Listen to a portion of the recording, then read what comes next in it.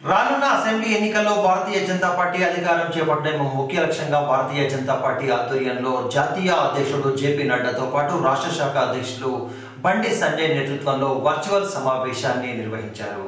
శనివారం రోజున దీనిలో భాగంగా వేములవాడ పట్టణంలోని భీమేశ్వర గార్డెన్స్లో జరిగిన వర్చువల్ సమావేశంలో ఎల్ఈడి తెర ద్వారా ప్రత్యేక సమావేశంలో బూత్ కమిటీ స్థాయి నుండి ప్రతి కార్యకర్త పెద్ద ఎత్తున నేతలు హాజరయ్యారు.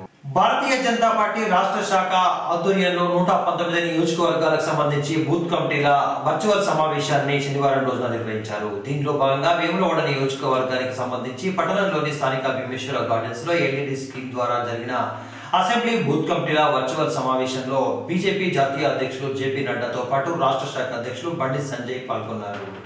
రానున్న అసెంబ్లీ ఎన్నికల్లో భారతీయ జనతా పార్టీ గెలిపే లక్ష్యంగా బూత్ కమిటీ సభ్యులకు జాతీయ రాష్ట్ర స్థాయి నేతలు దిశానిర్దేశం చేశారు. కార్యక్రమంలో బూత్ కమిటీ సభ్యులతో పాటు బీజేపీ మండలాల అధ్యక్షులు జిల్లా అధ్యక్షులు ప్రతాప రామకృష్ణ అసెంబ్లీ పాలక్ పఠాన్ మాజీ శాసనసభ్యులు నందీశ్వర్ గౌడ్తో పాటు అసెంబ్లీ ప్రభారి మీసాల చంద్రయ్య కన్వీనర్ మార్ సత్తయ్య జిల్లా ప్రధాన కార్యదర్శి దేగుల మల్లికార్జున్ కొడుపల్లి గోపారెడ్డితో పాటు నేతలు పెద్ద ఎత్తున హాజరయ్యారు.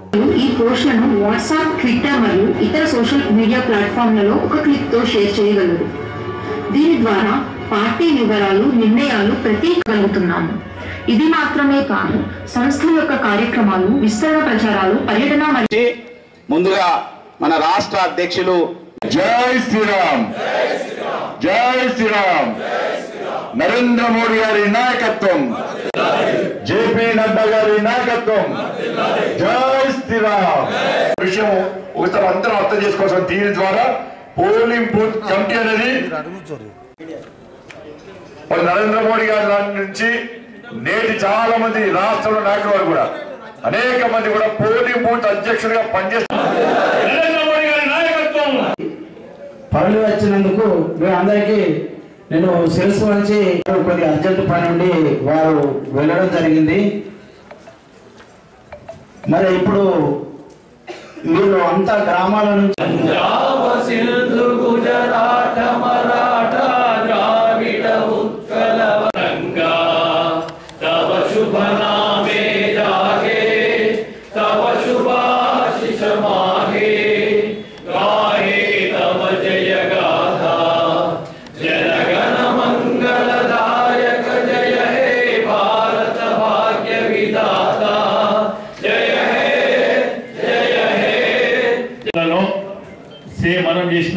ఏ రకమైన అరేంజ్మెంట్స్కి ఇష్టమో వాటి అన్నింటి కూడా సమన్వయం చేసుకుంటూ జేపీ నడ్డా గారు మాట్లాడేది ఉంటే మరి ఆ లింక్ కలవకుండా అది దాదాపు రద్దైన దీపుడు ప్రేమేందర్ గారు చెప్పారు మీకు.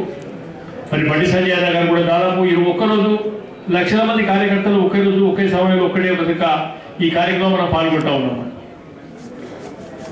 బూత్ కమిటీల గురించి ప్రత్యేకంగా శక్తి కేంద్రాల గురించి ఈ సమావేశం ప్రత్యేకం మనం తీసుకుంటా ఉన్నాం. సామాన్యమైన కార్యకర్త ఒక బూత్ స్థాయిలో ఉన్న సామాన్యమైన కార్యకర్తనే దశ దిశ ఈ పార్టీకి ఈ రాష్ట్రంలో అధికారంలోకి ఏ రకంగా రావాలో దాన్ని నిర్దేశించే వ్యవస్థ కేవలం మన మీద బాధ్యత అనేకమైన అపోహలు అనేకమైన కార్యక్రమాలు టీఆర్ఎస్ ప్రభుత్వం కల్పిస్తా ఉంది. భారతీయ జనతా పార్టీ కార్యకర్తలే కానీ దాంట్లో కానీ నిన్న మొన్నటి వరకు పది సంవత్సరాల క్రితం వరకు తీసుకున్నట్టయితే ఉనికి కోసం పోరాటం పోరాటం కాదు. అధికారం కోసం ఆరాటం పోరాటం కావాలి కార్యకర్తల మధ్య. మరి ఈ రాష్ట్రంలో ఒక నియంతృత్వ విధానాలతో నేను చెప్పిందే విధం మా కుటుంబం చెప్పినట్టే నడవాలనే ఆలోచన విధానంతో రాష్ట్ర ప్రభుత్వం కేసీఆర్ కుటుంబం వ్యవహరిస్తూ ఉంది. మరి నిన్న మొన్నటి ఎన్నికలలో కూడా చూసినట్టే సెస్ ఎన్నికల్లో వేములవాడకు సంబంధించి రూరల్ కానీ చందుర్తి కానీ మనం గెలిచి ఓడినాం. ప్రజలు గెలిపిస్తే ఈ రాష్ట్రంలో మన ఈ ఎస్ఎస్ఎల్గా ముఖ్య అధికారి అధికారి ఎవరు అంటే కేటీఆర్ గారు. ఆయన కూడా కొట్టిన మనం అధికార యంత్రాంగం పూర్తి చెప్పు చేతులు తీసుకునే ప్రయత్నం చేస్తా ఉన్నారు. సోదరులారా భారతీయ జనతా పార్టీ ఉనికి లేదు.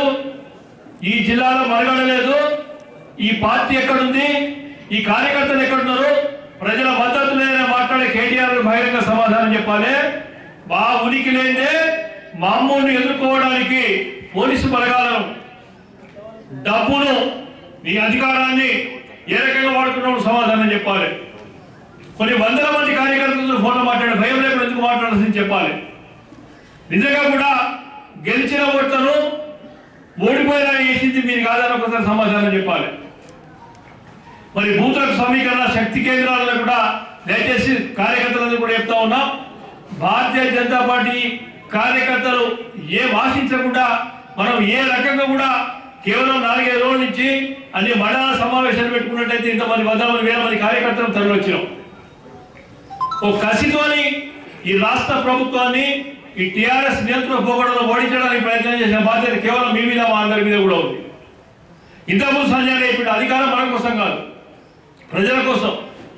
దాదాపు ఇరవై ముప్పై సంవత్సరాలు పనిచేసే కార్యకర్తలు కూడా ఈ రాష్ట్రంలో అధికారం రాదు అని తెలిసినా కూడా మనం ప్రయత్నం చేస్తూ ఉన్నాం. సిద్ధాంతం కోసం పనిచేస్తూ ఉన్నాం. సిద్ధాంతం కోసం జాతీయ భావజాలం కోసం ఈ దేశం కోసం పనిచేసే కార్యకర్తలే పార్టీలో ఉన్నాడు. కేవలం ఒక భారతీయ జనతా పార్టీ కార్యకర్తలే ఉన్నారు.